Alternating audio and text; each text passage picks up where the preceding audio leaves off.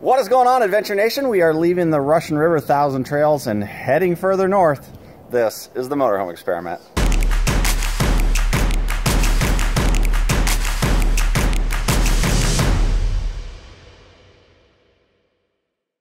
Well, not quite north. We're going more like Northwest. West, yeah. North and west, but I mean, eventually we're going north. We're going to Alaska. Eventually, yeah. But uh, it, has been a nice, quiet stay. We caught up on some some editing, caught up on some work, and now we're gonna head a little bit north and and west. Time to go. Time to go. Yeah. So should we show them a little bit of our site and stuff before we get to road? Yes. This is uh, a thousand trails Russian River, and it's only water and electric only. Yeah, which is unusual because Yeah. they're normally full hookups. Our spot especially was extremely well because we're next to a cabin, and as you know, cabins are almost never used. Like, look, cabin, like there is a pad for the bathroom, that, and that's our side. So very level, very hard to level in this campground, I have to say. If you have a long class A, if you have a smaller trailer, easier uh, to level for you. But Yeah, a lot of lot of unlevel sites here. There there is there. Don't get us wrong. There's a lot of sites here that you can level. You can see all these sites down here are all pretty level. but a lot of the sides here have like a ramp to go up and then level. So for the longer rigs, that's a hard one to to get into. For the smaller trailers, it's just easy. Right. We are in section C, and it seems to have quite a few of these these spots that are that are more level. Mm-hmm. Ours was a pull through, obviously, so uh, easy to get level there. You ready to get hooked up and get going? Yes, let's go. Perfect. Let's do it. Before we get hooked up, I want to show you guys the the bicycle rack. We've had a lot of people asking this question lately, and I know we've talked about it before, but just quickly how we've done it. So we obviously have the tow dolly that we have on a hitch. But what we've done with the hitch is we've got a dual hitch receiver. So the bottom receiver comes out to the tow dolly itself and we've got the big drop on it because uh, you want to keep your tow dolly a little bit more flat. If this is up, the back of the tow dolly dips down and then digs into the ground a lot more so we don't want to do that. The biggest problem with this thing is this is constantly dipping in and hitting the ground, but not a big deal. So the dual hitch receiver allows bottom hitch for either your uh, tow dolly and or a flat tow. And then you have the second hitch receiver that you use for your bicycle rack. And your bicycle rack goes on the back. So it works great. I kind of wish that we had gotten the, the bicycle rack that holds onto the bottom of the tires, but it is what it is. We have cheap bikes, so cheap bikes, cheap bicycle rack. That's our bicycle rack setup. Now we can get going.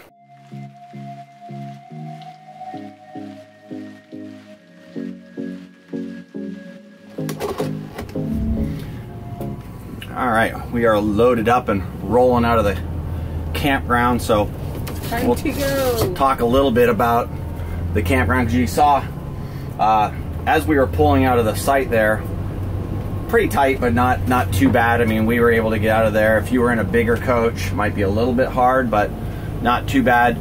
Most of the sites in our area, or at least a large majority of them in the area we were in, which was section C, were fairly level, but they're not all that way. So this campground, uh, it's only water and electric. So be prepared for that. Dump your tanks before going into your spot if you need to. Um, but And dump when you leave. yeah, but it's a it's a pretty campground. A lot of trees. Um, I don't know. It was not as bad. Obviously, like always, Thousand Trails facilities always always outdated, old, but they were clean. Yeah, the the restrooms were clean. Uh, the men's room, at least. I don't know about the ladies' room. Ladies are disgusting, so they always their bathrooms are worse. But the men's room was decent. Sure. It was again, yeah, it's old, it's outdated, it's dark, but at least they were clean. Something bad just crashed down back there. What was it, Lori? It didn't sound good, but they were they were clean, and that's again one of the more important things. The buildings and stuff are run down. I- close to a lot of also cool uh, areas. It is in a really cool area. Like a lot of wineries around here, and the river is right here in the campground. They say the beach area is a rocky area, so it's hard to kind of like bring your blanket. It's more like a bring your chair if you want to bring if you want to be close to the river. Yeah, it says sandy beach, but it's not a sandy beach at all. it was super quiet. The quietest place we've been in a long time because we've been along the ocean where you've got waves crashing, you've got planes flying overhead, you've got trains, you've got people. This was super quiet.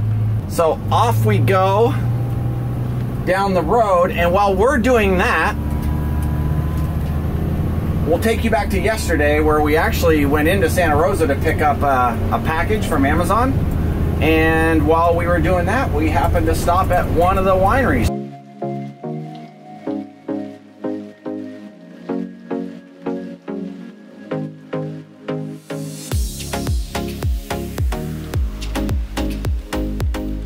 I don't know why I thought we weren't going to film today, but we're going to. We're at the Francis Ford Coppola Winery, and it's looking pretty cool so far.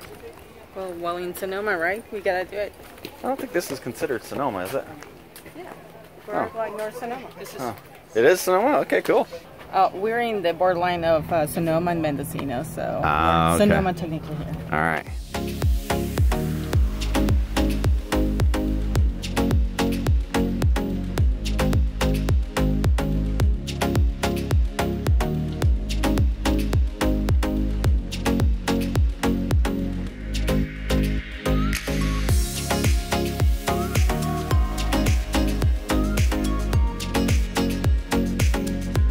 How cool is that? The Godfather desk and chair. That's pretty crazy. There is some really cool memorabilia in here from some of Coppola's movies.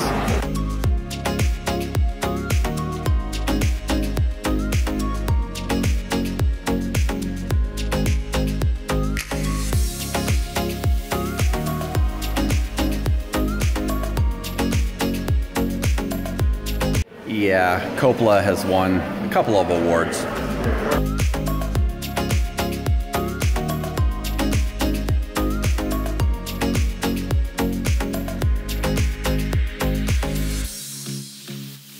Okay, the, for those of you who don't know what this car is, it is a Tucker 48. It was only made in 1948. 51 of these cars were made, so who knows how many are still in existence, but this is crazy. This company, Tucker, went through this.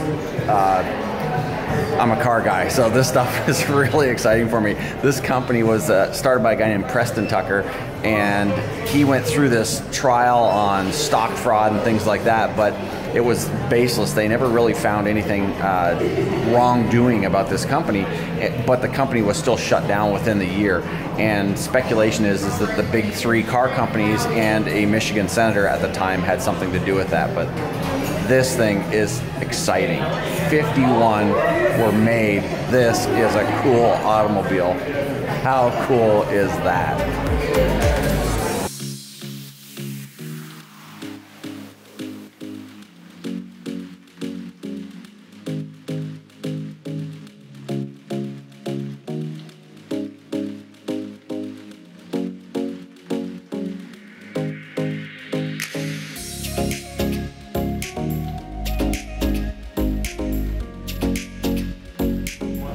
You younger folks, how much does that look like Charlie Sheen? That is actually Martin Sheen from the 1979 movie Apocalypse Now. That is crazy. This picture here, folks, that is Laurence Fishburne. He was 14 years old when this movie was being filmed. Talk about movie memorabilia craziness. Holy smokes. Bram Stoker's Dracula. As you guys know, I'm not a drinker, but Lori is, so it's time for her to get her wine tasting on. That's what we came for, right? Exactly.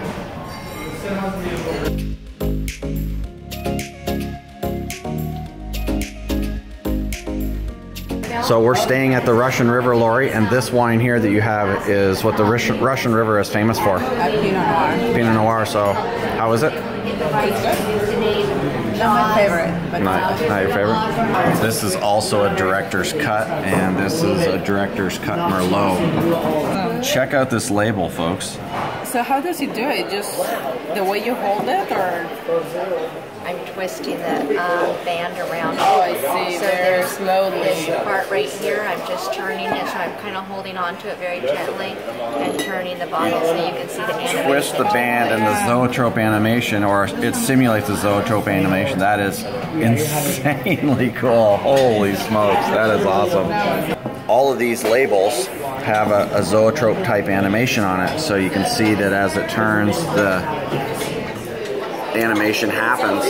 And then at the very top, it's going to be hard to see, this simulates the zoetrope where you normally look down through the slots and when that spins you can see the animation. So very, very cool stuff. That is awesome. And all of the bottles have a different zoetrope label. You can see the different labels. This one here is really cool as well. This is an actual zoetrope. It's going to be hard to see through there, but that is pretty cool. This last one is the Coppola Reserve Dry Creek Valley Syrah.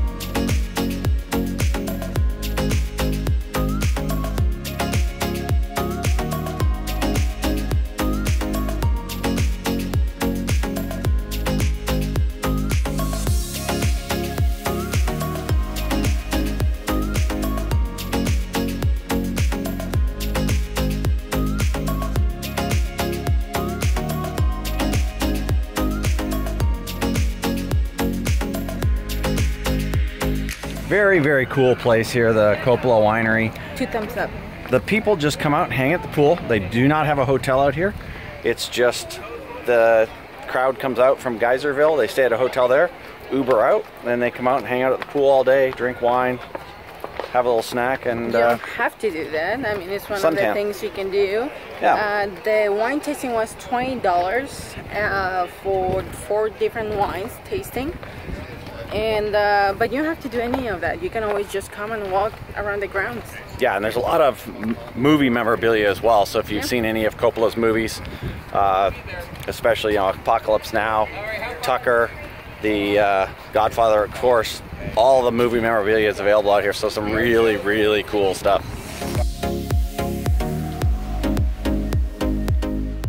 Yeah, the Coppola winery was really, really cool. I even enjoyed that one. I enjoy them all because, again, it's about the process for me. But Coppola was really cool because of the movie memorabilia and stuff like that. Now we are heading up 158 and we're heading north and west and heading up to a winery up there, a Harvest Host, where we're going to spend the night. So enjoy the ride.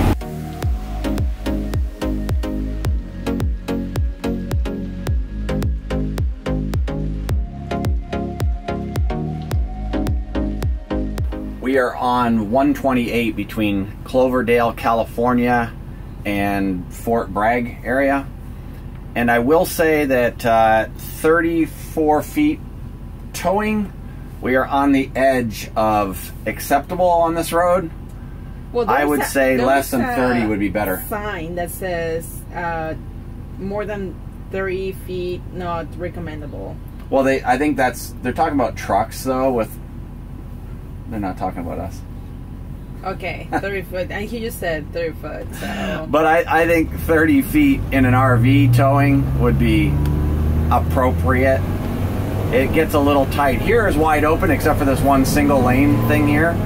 There's some pretty wide open areas, but it's the real bendy Like- switchbacks. twisty areas, sometimes with a hill right next to you, like rock right next to you. So yes. Yeah. Right. Luckily, we're going in the right direction today, meaning all the traffic is going south while we're going north. It is Mother's Day today, so everybody's heading back from Mother's Day weekend, either on the coast or at the wineries. we happen to be going north, so very little traffic in our direction, which is good for us. But it is absolutely gorgeous through here. They do have uh, a lot of turnouts, so I've had to pull over a few times to allow people to pass, which is fine, and it's something that we should do when we drive these big lumbering rigs. But they do have that available, which is nice on this road.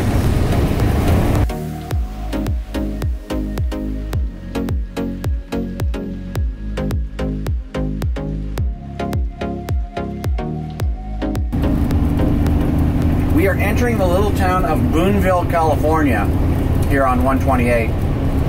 And the unique thing about Boonville, other than the fact that there's all kinds of crazy wineries and stuff here, is they have a, a language, their own language called Boontling.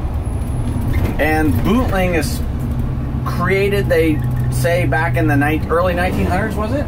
19th century. in the early 19th century, and they don't know if it came from kids trying to make up a language to uh, talk with their parents or talk around their parents, or their parents talking around their kids made it up, or whether field workers did it. But they have their own dialect here, their own form of English, I guess, called Boontling. So I, I don't think we're going to stop and uh, try to find any Boontlings, but thought that was kind of cool. Cute little town. Very cute little town. Low cafes and wine tasting. Imagine that wine tasting. Imagine in this area. This is in Mendocino County. So if you hear people talking about counties, this is in Mendocino.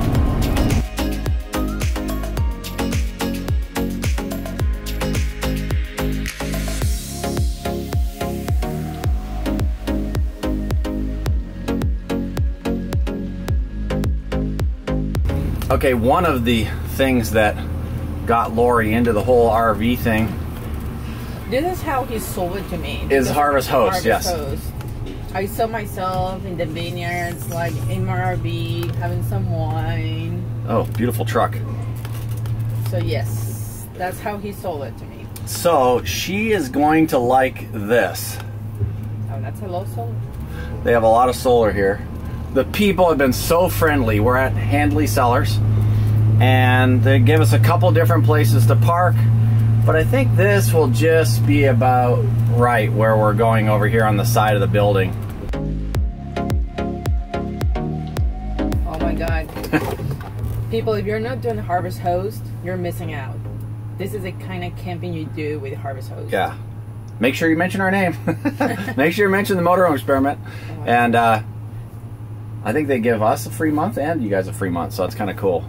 But this is spectacular. Very, very cool. Pretty breathtaking. Now, time for some wine tasting.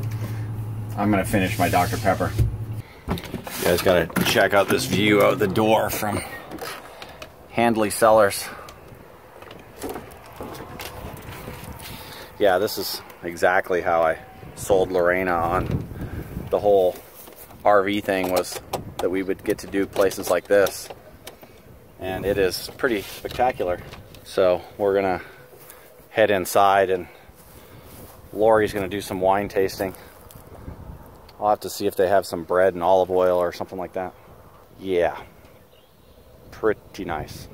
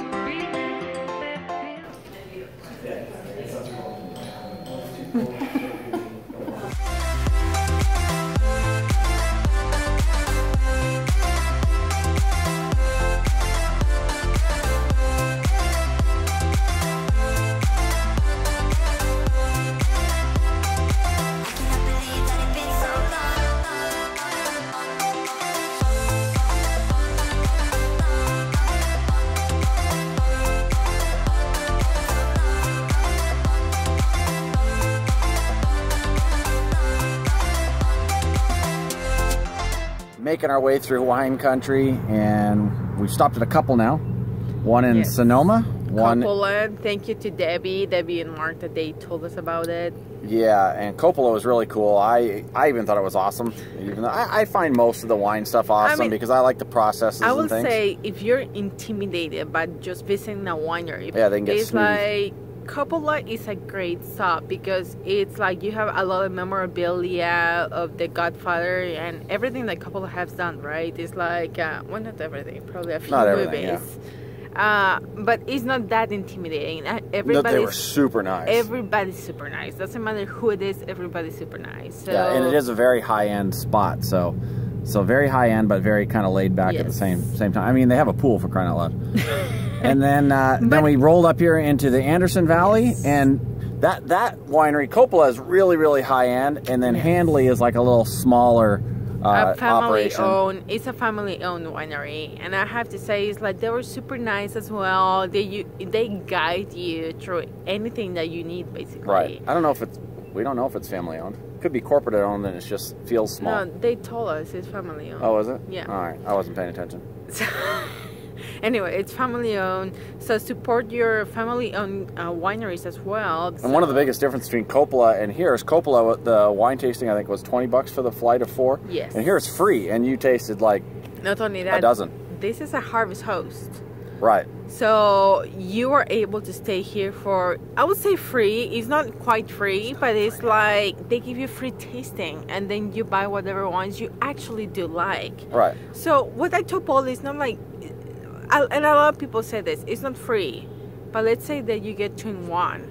You get like a place to stay and an experience for right. one. Because you can't stay at Coppola. I mean, you, even if you pay for everything, you still No. can't stay there. So it really is neat that you are able to, to stay at the Harvest Host ones and and Mm-hmm. it look like check this out. Look, take a look around. I mean, again, this How, how can you beat this view? How This can is you our beat this environment? own personal campground for one night. So that's it's crazy. So yeah, we've had a good time in, in wine Yes. country, and and we're not quite out of it yet, but I think we're done with wine tastings. Are we done with wine tastings? I don't know what's yeah, we, up. we don't know yet.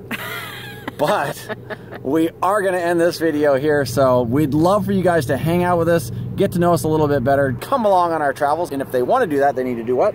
Subscribe. They need to subscribe. So hit that subscribe button. It'd be really cool if you liked the video. And we'll see you again in the next one. So guys, Bye, guys. had a good evening. Ozzy's loving it. Ozzy's loving this place. He's out playing. Ozzy. Ozzy. Ozzy, come say hi to your fans. Like he doesn't even care. Ozzy. Ozzy. He does not care about us at all. He doesn't listen. No. All right. But he loving this place.